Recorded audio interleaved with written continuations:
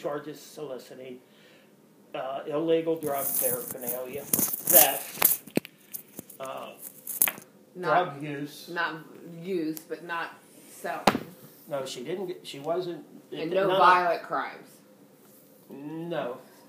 Um, But the Miss- one crime she was, she was in, is, was arrested on, she's in there for twenty-five hundred dollars cash bond. Ooh, And, you know, he, he ain't he got that. He can't pay $600 So what she do? But, Did so she she's skip got- probation? I figured that she's got about twelve hundred dollars bond that she's gotta come up with. fifty percent. And she's gotta go to her next court date. She was assigned a public defender with charges assessed. So I guess she's gotta pay for a public defender, I don't know.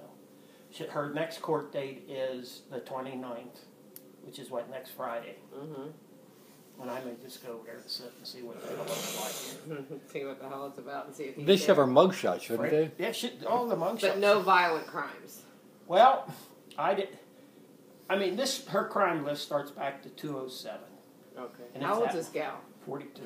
That's it. That's sad. So you haven't even researched him. No, I haven't researched.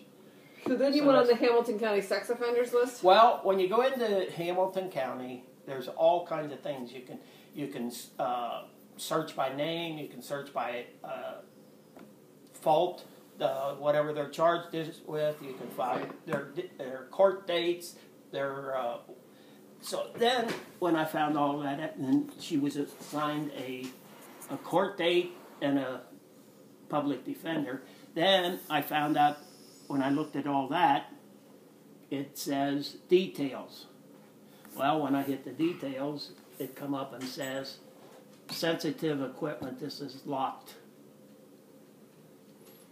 on all her charges. So I don't know what's sensitive, what's so sensitive about her prostitution and. You know, I mean, if she's in there for prostitution, what hell? It's only one thing, isn't it? Pretty much. I mean, I don't know what else. Unless she was do, unless she was doing it with a cop or a judge, and they kind of try to but hide it.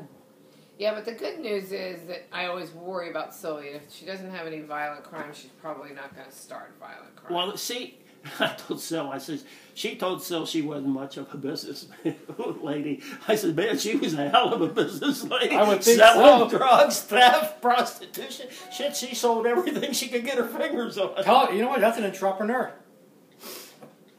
Oh, God, it is unreal.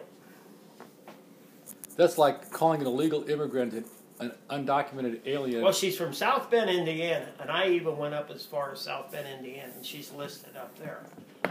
Uh, I couldn't get much details in it, but she is listed as, as a,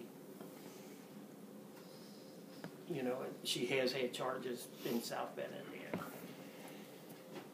We knew that. We knew she, but there was a re, still, I don't know whether Robbie told her or who told her, but somebody told her that she was a convicted felon. Or you could be a felon for theft, and it's not violent. Yeah. I mean, yeah, I mean, yeah. If you're just stupid, that's one thing. If you're, And if they you're must issue- dangerous, And it said in her thing, it said there was a load of capias, capiases. And that, all that is, is a damn warrant out for you and they, uh, uh, what's it called? capias. It's a, it's a warrant out for you and they don't, it's for minor things and if you, Oh. you know, unless you do something else, they, they don't spend much time looking for it because they've got other things to do. Well, heck, in Detroit now, they don't even they don't even go to, to domestic violent calls anymore, or or, or, or theft. They don't go. So I don't know what's gonna happen. I said, you know, just tell him. so- she just needs to be. This, I told this is Sil, just I told her this morning, Charlotte, calling, telling. look, Robbie, I'd like my money as quick as you can, and then I'd like you to look for a different place.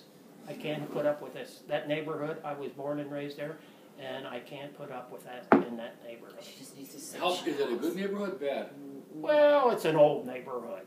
I mean, it's all uh, more older people. Yeah. It's a good neighborhood. I mean, there's not, there's very little, if any, crime in it. It's oh, you know what you ought to do is move into one of Bill Weehage's. She doesn't need a place to live. She's got a place to live for a couple more days, I think. I don't Sylvia think, can't worry about where they're going to live. No. She just needs them out of her house. And That's she what I needs mean. to sell that house. It's too I stressful. says, you know, I says, you know, the, uh, just if you- if you have to eat the six hundred bucks, eat it. at know, this point. Deduct At it. this point in time,